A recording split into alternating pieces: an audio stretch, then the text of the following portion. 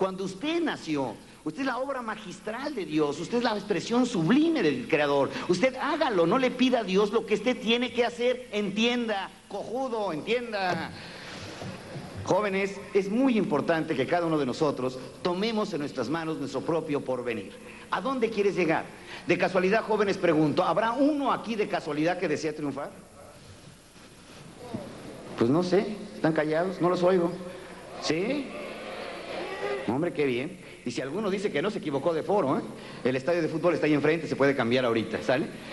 ¿Qué resulta, jóvenes? Definitivamente, si deseamos triunfar, si deseamos lograr algo en la vida, si queremos alcanzar un mejor nivel económico, un mejor nivel social, una mejor pareja, bueno, si la cambias la que tienes también, etcétera, si deseamos cualquier cosa en la vida, lo más importante, jóvenes, lo que quiero transmitirles es que lo primero que debemos tener es una claridad total de nuestro objetivo, hacia dónde queremos llegar.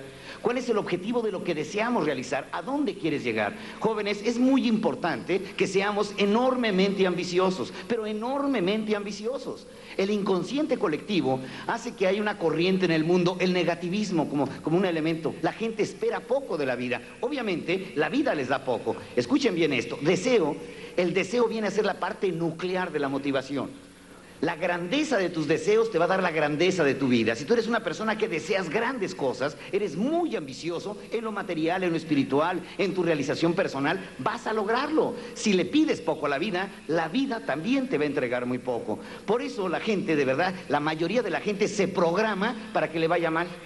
No sé. Levanten la mano los que traen coche. Levanten la mano. Ándele, yo no soy de, no soy de Hacienda. Ánimo, sí, levántenla, ¿sí?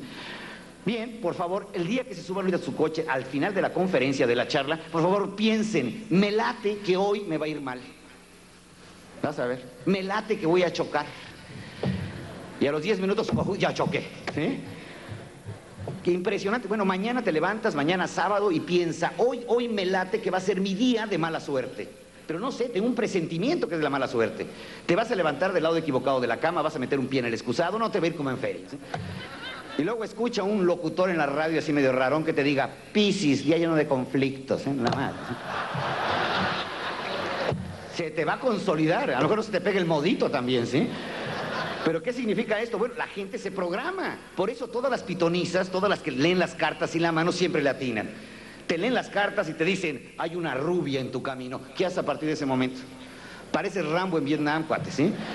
Le disparas a cuanta güera ves, ¿sí? ¿Qué resulta? Ya ves, tenía razón, salió. Entonces, ¿qué sucede? Las personas se programan, fíjense, se programan inconscientemente para ser fracasados. Se programan inconscientemente para ser mediocres, se programan inconscientemente para hacer pocos logros en su vida. ¿Y qué tenemos que hacer en la vida? Tenemos que programarnos positivamente. Tenemos que hacer que verdaderamente las cosas sucedan porque queremos que las cosas sucedan. Recuerden que la gente mediocre espera un milagro para que las cosas cambien. En cambio, los líderes de excelencia, la nueva generación que reclama el mundo, son personas que están programados para qué? Para triunfar. ¿Qué tenemos que hacer en la mañana? ¿Ustedes se han dado cuenta cómo se levantan los perros? ¿Cómo, se, cómo amanece un perro? ¿Se han dado cuenta? Al momento en que un perro amanece, lo primero que hace es estirarse. Así. Lo primero que quiero que hagan ustedes también que se estiren, pero el cerebro, ¿sale? ¿Qué significa? Prográmate en la mañana. Va a ser un día extraordinario, va a ser de excelencia, va a ser extraordinario. Hoy voy a triunfar. No esperen a triunfar cuando tengan 30 años, ni 35, ni 50, no. Hay que aprender a triunfar a los 15, a los 17, a los 20, a los 25. Todos los días tenemos que ser desafiantes al triunfo, lanzarnos a ser triunfadores. Por eso es muy importante la autoprogramación. Por eso dice el documento, aceptar las circunstancias sin envidiar ni protestar. Porque la gente dice, si yo fuera tan guapo como fulanita, si yo fuera tan bien presentado como sutanito, si hubiera tenido los papás, eso ya nadie lo puede cambiar. Es una circunstancia que ya nos fue dada.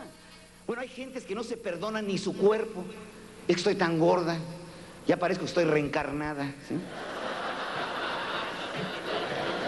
Tengo un amigo que tiene una nariz más o menos prominente, cuando va en su coche, la pone del lado, le dicen, mete el codo, imbécil. ¿no? Bueno, pues, le puedes ser a la Michael Jackson, te puedes poner blanco si quieres, cuate. Pero la verdad de las cosas, tenemos que aceptar las circunstancias. Yo no puedo cambiar a mis papás, yo no puedo cambiar mi cuerpo, yo no puedo cambiar nada. Entonces, ¿qué debo de entender? Debo de admitir la maravilla que somos y lanzarnos a conquistar nuestro propio porvenir. O sea, tal como soy, así como soy, me tengo que aceptar. Pero piense, por favor, ¿quién soy yo? la obra magistral, el que no reconozca su propia grandeza, está negando la existencia de Dios.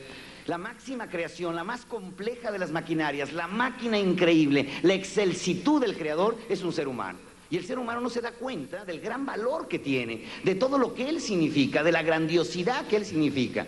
Ahora imagínate que tú como padre, que algún día lo vas a hacer, o tú como mamá, que algún día lo vas a hacer, le das a tu hijo lo mejor de lo mejor, las mejores escuelas, los mejores estudios, los mejores viajes, los mejores alimentos, y de pronto te resulta que tu hijo a los 20 años es un aplatanado de esos que, y tú, pues aquí nomás, ahí jalando, ahí la voy llevando, ahí voy con mi cruz en la vida. ¿Cómo te sentirías como padre? Te sentirías terriblemente frustrado. ¿Cómo se sentirá Dios con tanto condenado mediocre? Nos ha dado todo para ser triunfadores, nos ha dado la máquina más extraordinaria, nos ha dado toda la genialidad, la síntesis del creador es un ser humano. Entonces, ¿qué tenemos que aceptarnos como soy, caray? Tal vez, a mí, si hubiera nacido en Johannesburgo, por mi color de piel, pues ahorita sería de los esclavos de allá, caray. Afortunadamente nací en México y los prietitos nos quieren en México. Pero en otro país tal vez me hubiera tocado la marginación, pero son circunstancias, nadie lo determinó. Entonces, por lo tanto, jóvenes, hay que aceptar nuestra circunstancia, hay que aceptar nuestro cuerpo, hay que aceptar a nuestros padres, hay que aceptar lo que tenemos y ser buenos a pesar de... En México decimos el que es gallo donde quiera canta. No necesita esperar a que le cambie nada en la vida. Así como eres, así como estás, con lo que se te dio en la vida, tenemos que aprender a ser súper, súper triunfadores.